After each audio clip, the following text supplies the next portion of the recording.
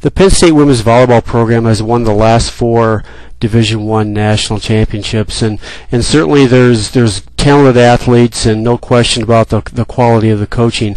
One of the major reasons for their success is the way they approach both individual and team defense. They are very relentless in their pursuit of the ball, and they never give up. But they also have very sound fundamentals, both individually and as a team.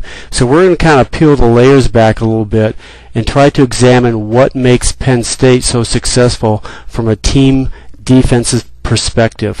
One of the first things we're going to do right now is focus on the center back player. And one of the principles of center back is you you line up so you can see the ball between the two blockers. And notice how the center back player moves to her left to make the the ability to see the ball between the two block and then because she made that move, the ball literally came right to her. But it was the defense she played before the ball was ta- was attacked that that was a key. Look at the the left back defensive player here, um, and you wonder why so many balls are dug in in left back. Look at the low center of gravity. The arms are extended, and she's watching. So she starts in a, a, wonderful defensive posture. The ball gets on her pretty quick, and even though it's a reaction defensive play, she still is driving her hips behind the ball, and her hips finish towards the center of the court, which is, in essence, is where you want the ball to be dug to. So there's there was no swiveling and no turning. So very sound fundamentals defensively of being down and then pursuing the ball. You know, so the major focus of this video is going to be the center back and left back defenders because in essence those people will dig a uh, a large number of the attacks. Notice the again the left back how she pursues the ball into the seam with her whole body, not just you know, her arm. So she really drives to the ball. And then her teammates are ready to make that second play. Again, center back is lining up ball between the, the two blockers. And as you can see, it's not a, a really well-formed block. But notice the movements. We call this parallel lines where the left back and the center back both pursue a ball that's hit into the seam and they move parallel with center back always having deep responsibilities. So they can both attack the, in essence, attack the attack without fear of running into each other. Uh, at times there's going to be some collisions, but you know if if the parallel lines concept is in is in place, then there shouldn't be too many. Notice how the center back player is directly behind the middle blocker, and generally you want to be outside of blockers so you can see balls. So see how she moves to her left.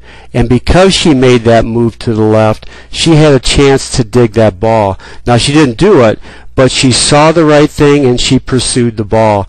Uh, again, you see center back and the middle blocker in, in line. So a move is made by the center back to get outside of that block and to make a move. And then notice how both left back and center back pursue the ball in a parallel lines fashion. So you're not going to make all the plays, and you know defense is not a, a, perfect skill. But I think if you look at the concepts, you can see why Penn State was was so good on defense. Notice how the, the center back made this move to the ball. So even though it was a hard hit ball, First of all, she lines up inside the one block, and then as she plays it, she moves forward and under. So she's never rocking away from the attack. Defense is played aggressively, and that was a great example of just driving to the ball, as you can see here. Again, parallel lines. The left back has short responsibility, even though the ball was deflected to the, the middle of the court. So as these plays unfold, you see the concepts that are ingrained into the Penn State team of parallel lines, good court position, good body position. Again, the opponent's coming inside into uh, zone three. the the the concepts for center back do not change. It's still ball between the two blockers. So she shifts to her left, lines up, and then she's in a pretty good position to make that play. And again, you see parallel lines where left back and center back both pursue a ball that's that's hit between them.